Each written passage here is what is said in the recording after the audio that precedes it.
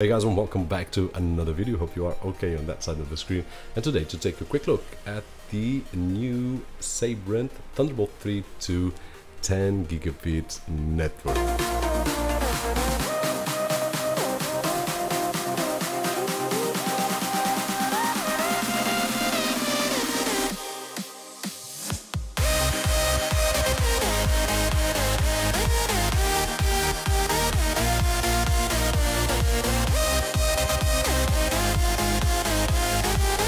I almost didn't need to do a video about it because we already covered at least in two videos, one with a 10 gigabit switch and one with a 10 gigabit NAS units, network attached storage solution. Sorry about my pronunciation regarding the NAS, but it's the best I can do.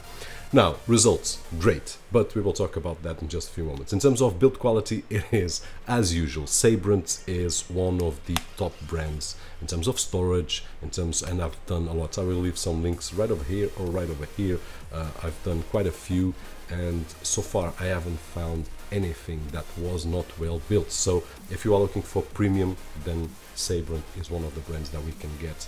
Anything that it's not cheap looking. Sometimes you have great prices, which was the case of one of the enclosures that we've seen right over here. The best enclosure I've seen so far at one of the best prices. So I will try to leave the link right over there. And that's for storage, enclosure for storage. Now today we are talking about network and this is just awesome. This is a block, a really, really well built aluminium block that will uh, acts as two things. First of all, it has a great uh, build quality and it also acts as a dissipator. So it will dissipate the heat and as you can see on the edges as these fins right over here on both sides uh, which is just great. By the way, it has a Thunderbolt 3 on one end, so we can connect, in my particular case, a MacBook Pro, Mac Mini, or the MacBook Air with the M1 CPU, which are the machines that I've got available to me. And then on the other side, the 10 gigabit RJ45 connection for the network and the camera there it is okay so and then it comes with a adapter and of course the thunderbolt 3 cable, not the adapter, a protection, rubber protection. So if we drop it, um, it will protect from an accidental drop and it will not damage the aluminium and so on and so forth. It also has, by the way, this rubber protection as on the sides where we have um, those fins as some holes uh, to let the air in, which is well thought.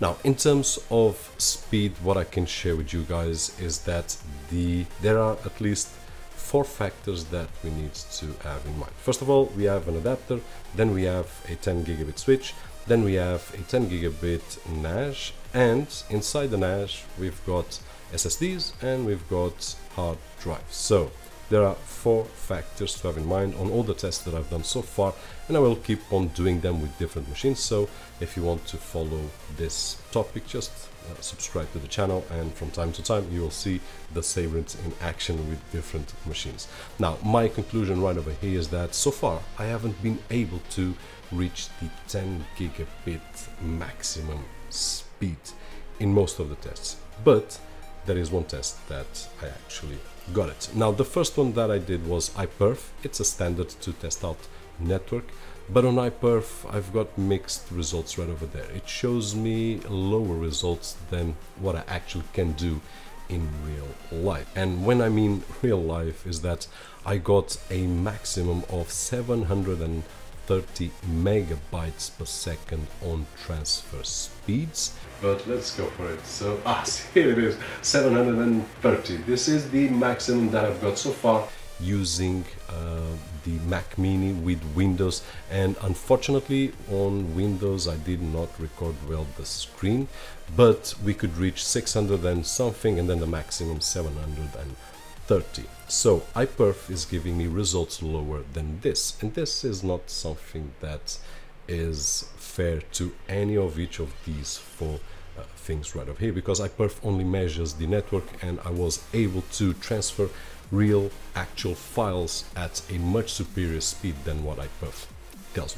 Then there is another fact that I did test out. The switch has a software and that software can measure the bandwidth and when I do test out 1 gigabit speed the switch tells me that the speed is at 1 gigabit so it's correct. Now when I test out the 10 gigabit connection the switch tells me that I do have in fact 10 gigabit connection speed. So which one is right because at this moment I've got to give credit to these four factors. First of all let's do a test of one gigabit machine. I've got my Mac mini right over here with iPerf installed so let's do a test so that we can check something here on the switch menu. So we are getting a 1 gigabit uh, connectivity and what it shows is 900 and something, 1 Uh, 1000 megabits 600 and something so it just lowered and now zero on the connection. So I just want to establish a pattern here to help me and help you guys to understand some of the values that we will have later on. So this is a gigabit connectivity no surprises right over here something that we have for quite some time. Let's take a look at the 2.5 gigabit connection. So let's just run the iperf command right over here. And as you can see we will have the results of a 2.5 gigabit connection. So 2300 and something megabits per second which is the result. And if we repeat the test once again so that we can see it better it starts ramping up and then it goes to 2300 and something which is more or less the same that we see right over here. So it reaches a maximum of 2441 um, and basically this is normal for a 2.5 connectivity. Now let's go for the 10 gigabit, which I'm going to disconnect and connect, so I will be back in just a few moments. Okay, so we are connected to 10 gigabit on the computer and 10 gigabit on the QNAP NAS with a 10 gigabit connectivity. Now let's do another test and just the normal commands and let's go for it. So as we can see the speed right over here will jump to 4 point something 8390 and uh, that was the maximum of this speed. But one of the things that I'm really curious is that on iPerf we are not getting that results. Now maximum that I'm getting is about 6 point something 6.30 something. Also have to trust the software which tells me that 1 gigabit is, cor is correct, 2.5 gigabits is correct.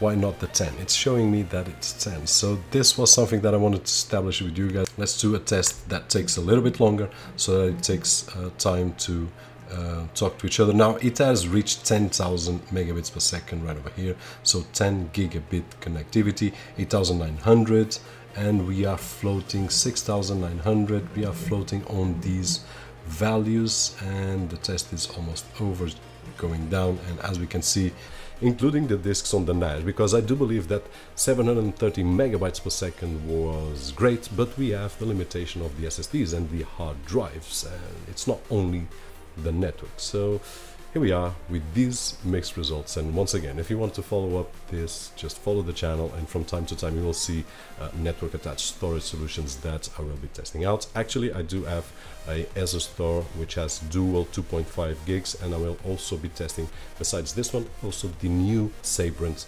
2.5 gigabit um, adapter which hopefully will be in the middle ground. So if you only need 2.5 you can have a cheaper solution which is great. If you need 10 gigabit, then what I can say in terms of feedback, it's really, really happy. No drivers, nothing, just plugging one cable to the computer, and that is it. By the way, I'm using the Mac uh, Mini MacBook Air and MacBook Pro, but you can also use on Windows and Linux. And guys, that is it. Hope that this video was helpful in some way, and if it was, don't forget the usual thumbs up right over there. My name is Roberto Jorge, and as always, I'll see you guys on the next one.